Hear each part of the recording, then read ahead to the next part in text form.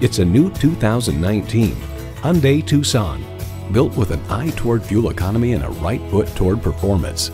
A great vehicle is comprised of great features like these.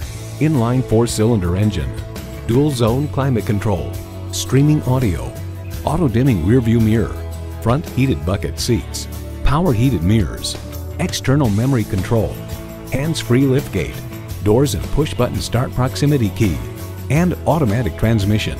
Hyundai's attention to detail means a better driving experience for you. Stop in for a test drive and make it yours today.